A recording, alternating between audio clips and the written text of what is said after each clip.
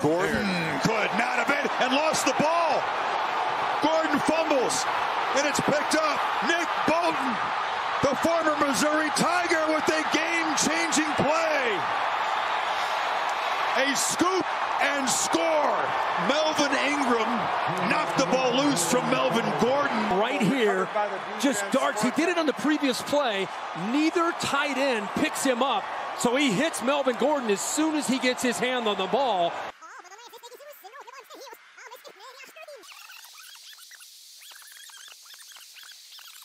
Let me take you back to the beginning of the story.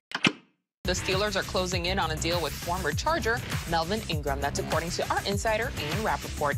I think he's a great piece to add to the Steelers yes. defense, especially now that Bud Dupree is gone. Because he's been playing well, third on the entire team in pressures behind only Cam Heyward and TJ Watt. That's pretty good company. Second on the team, or actually he's tied for the team lead with TJ Watt when it comes to quarterback hits, quarterback hurries. He has 11. That's second on the team. He's 10 years in. He's a veteran guy, but production's still there. We continue to follow breaking news. Steelers trading pass rusher Melvin Ingram to the Chiefs. Our Josina Anderson reporting that. We traded Melvin Ingram. Um, I enjoy working with Melvin. Uh, it just didn't work out the way we envisioned, the way he envisioned, and, and sometimes that happens in free agency. From a team perspective, also um, it's better to have volunteers as opposed to hostages. And so that's good for the team as well. If you're in that locker room and you know Kansas City, they got back to 500, they're struggling, and you're trading a, a, a key piece that could potentially help them. It boosts the competitor. You raising an eyebrow there, or you trusting Mike Tomlin and Kevin Colbert? You gotta still raise your eyebrow just a little bit. The Steelers have dealt Melvin Ingram to the Kansas City Chiefs a little impact to bolster that defense, linebacker. You want to pick up here, or you, you want to let Mark? Hey, look, look, look. If the Pittsburgh Steelers are giving up on the linebacker in the middle of the season. Um, you know, stop, that, that, stop that, it. I don't That's know what, what the situation what does that say to you? Listen, I know Melvin Ingram can play, yeah. but it's eight games into the season. The fact of the matter is, if you was gonna be that impactful, you would have been there. Okay, that's how I'm viewing it. All right, middle of the season, not beginning of the season, not not not training camp, nothing like that. Middle of the season, they say, "Yo, man, you can go, you can go." I mean, that's a, that's a message there. That's just me. Melvin Ingram was an animal out there. The first time I seen it, we were sitting there watching. Me and Billy Baker was watching this sucker press the tackle put it on Jordan Love, put him on his lap. So this is a guy that you could plug on the left side, the right side. He'll get after the quarterback. He's going to play hard. He's a tough guy. Melvin Ingram's presence. Uh, what are your thoughts and takeaways on uh, his play? His presence, uh, leadership, and I'm sure just his his his passion about the game.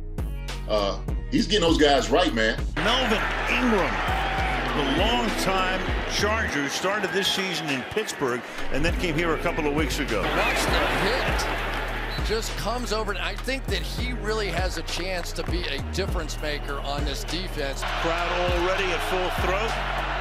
Pressure put on. Down he goes. Melvin Ingram came over in a trade with Pittsburgh about a month ago. Not a good idea when you let Ingram run free. Now, they did bring a slot blitz over here on the side, but direct access that time to Teddy Bridgewater. So after a great run on first down, nothing. Melvin's coming in, man, with a whole different presence, man. I love it. And I think without that piece, still been struggling defensively, without, without a doubt. You, you mentioned uh, how they had to play Chris Jones outside early in the season and then the addition of Melvin Ingram allowed them to bump him back inside a little bit more, solidified their edge. Did you weigh that at all when you traded him, knowing that you would play these guys down the stretch? To be quite honest with you and blunt, Melvin no longer wanted to be here. And for us, uh, we prefer volunteers as opposed to hostages. How sweet is it to make your mark with this team? This team has a great opportunity, particularly given the fact that there were people at your last stop who didn't believe in you. It's cool. It's cool. I wouldn't necessarily say they didn't believe me. They knew what I was, so I wouldn't say they didn't believe me. But they they had their guys, and I ain't. That situation is over with. It was just, I just went over to say hi and kept moving. But it's, it's been amazing here from day one.